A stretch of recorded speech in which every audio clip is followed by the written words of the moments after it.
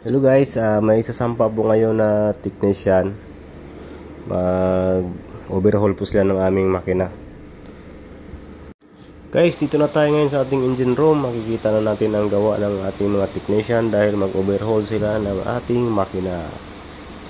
This is Ryan Vlog Sailor. Don't forget to like and share and subscribe of my YouTube channel, Ryan Vlog Sailor. So guys, ito na ngayon guys, nakita na natin na tinatanggal na nila ang ating cylinder head. Bukas na po yung ating makina, tinatanggal na nila. Yan. Marami na silang tinatanggal yan. Yan guys, tinatanggal na po ng mga technician. Uh, more on electronics kasi itong makina namin kasi Caterpillar. Kaya yung gumagawa yung mga technician, yung authorized talaga na certified uh, Caterpillar technician. Sila po yung authorized na gumagawa, mali maker. Hindi po kasi kami na basta-basta na gagawa dito. Kaya kailangan mo na yung ano, technician para yan po ang crankcase natin guys makikita po natin dito kung ano yung problema ay ano po nitong piston rin nito na putol uh, dalawang piston din nakita dito sa ano.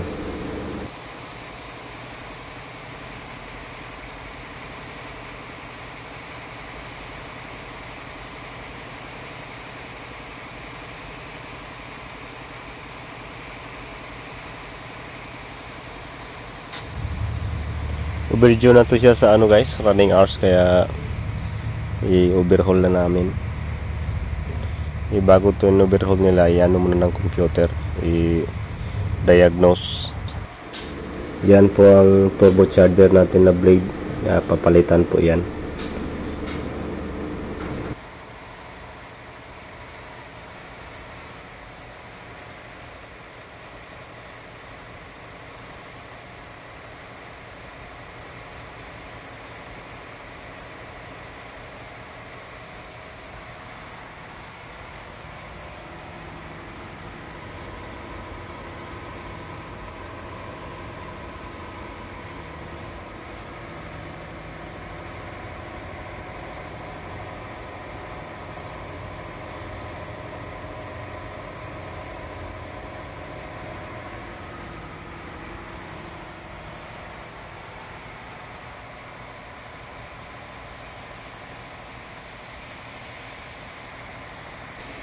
yan po ang mga ano natin fuel injector. Tinatanggal na po nila yung mga fuel injector. Yan lang po lahat. Tinatanggal nila.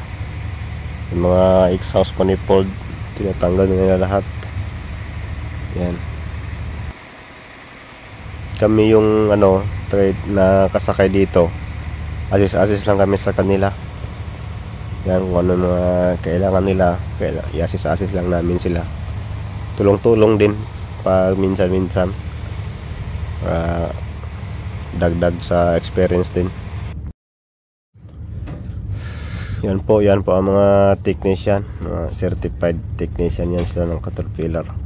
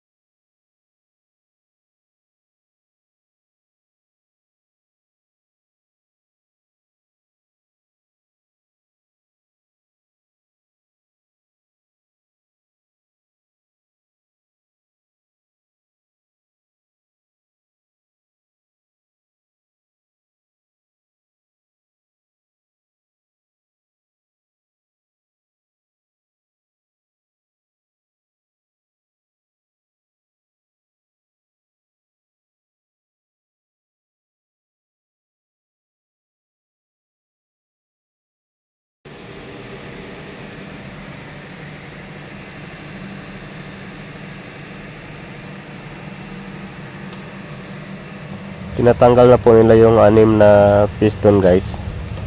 Kasi ano to na piston? Uh, 12 piraso. Yan yan po ang piston crown natin guys. Nasira siya.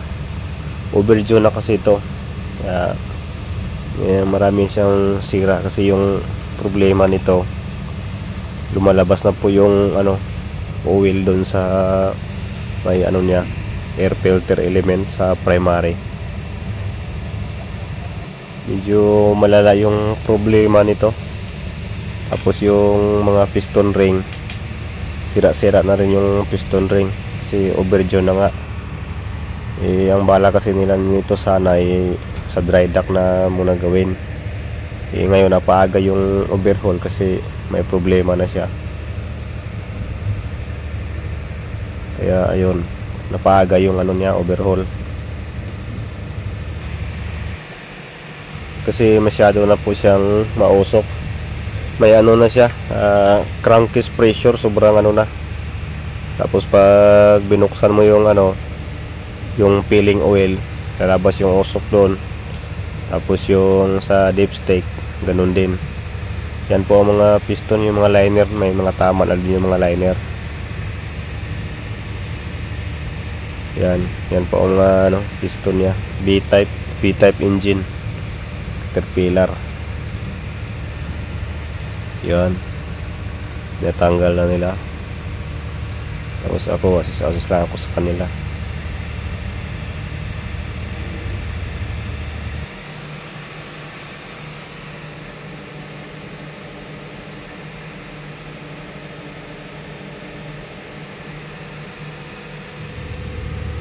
Po ang piston guys. Grabe na itong piston na to papalitan to lahat 12 piraso papalitan nila. Si may ano na dahil overdue na. Lagpas na sa ano running hours. Pati yung mga liner nito. Yan o may mga tama. Yan. May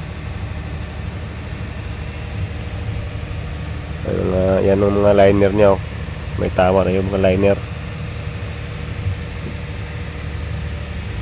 Kaya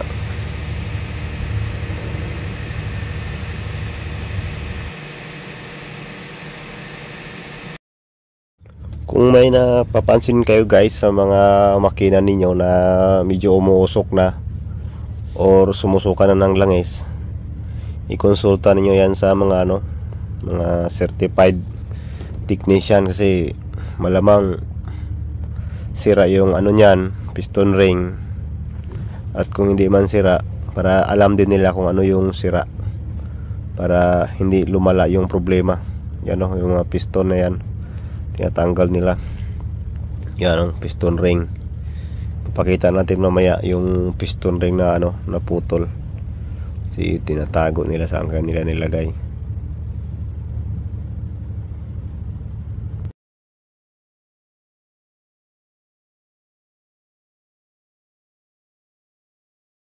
So yan guys, tutulungan ko sila guys, magbunot sila ng ano, ah, liner kabila bunot sila ng ano.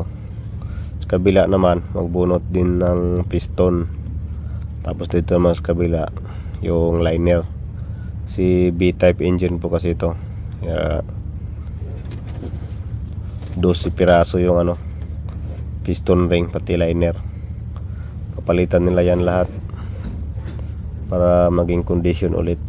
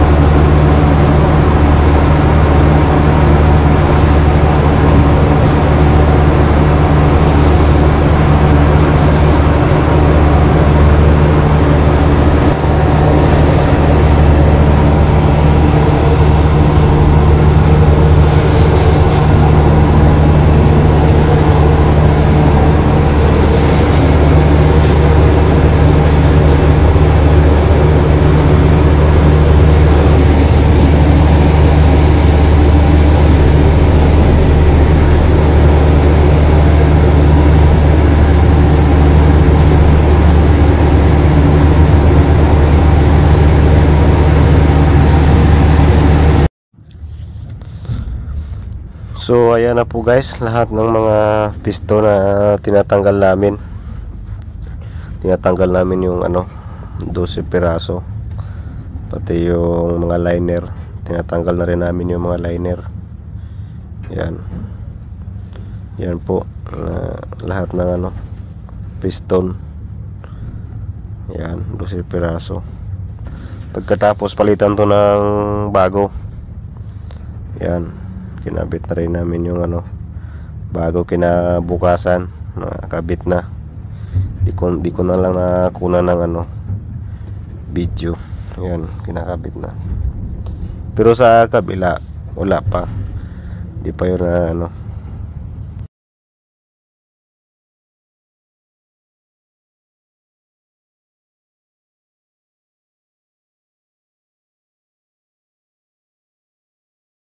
So yan po ang sa kabilang side guys na wala pa siyang liner. Ngayon lalagyan ng liner yan ngayon. Kikita niyo na ano, kita niyo naman na wala pa siya. Oh. Maluwang wala siyang liner.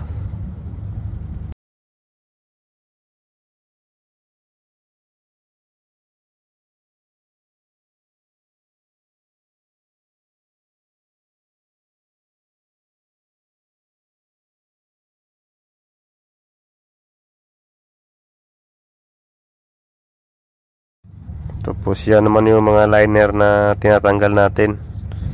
Yan, 12 piraso din yan. Papalitan yan lahat. Palitan ng bago. Yan. Tapos yan naman guys, nakabit na natin yung bagong piston. Yan ah, kalat na bagong bago talaga. Yan, yan ang cylinder head niya.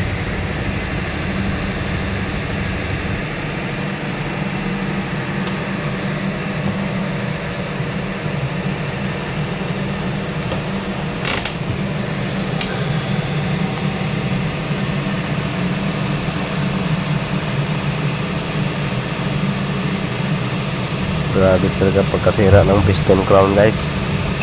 Yan o. Grabe. Pag-video na kasi ito. Kaya ganyan yung nangyari.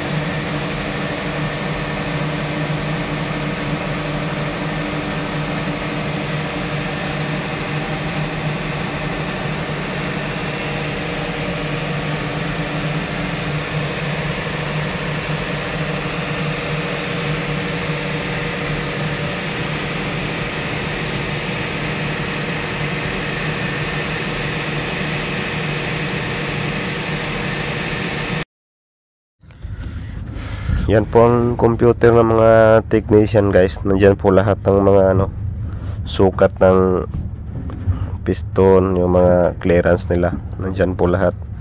Hindi po kasi basta basta ikakabit lang. May tamang sukat po yan siya sa piston sa mga bearing niya.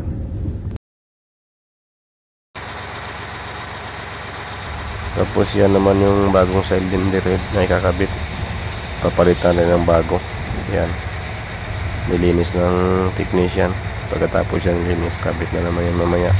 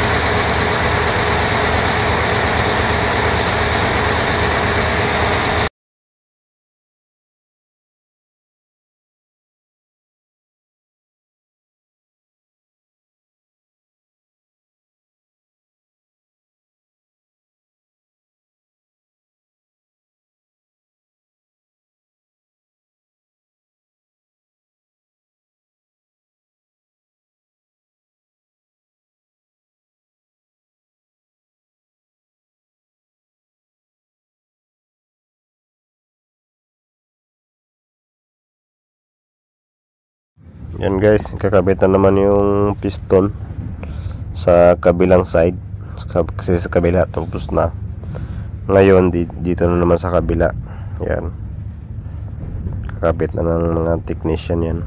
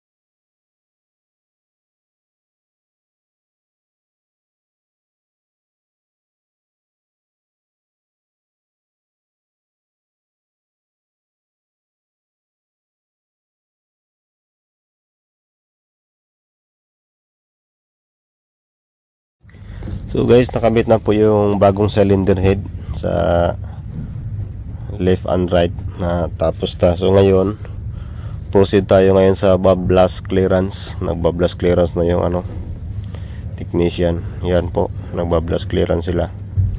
Um, tinanong ko kung ilan yung sukat sa X-house. Nasa 40. Tapos yung intake naman nasa 30. Yan, nagba-blast clearance sila. Yan, titingnan lang natin. Pagkatapos ito mamaya, tapos tong bablas clearance, mag ano naman sila ng ano, injector. Yung uh, cut out, cut out, cut out test para makita yung firing ng fuel kung tama o hindi.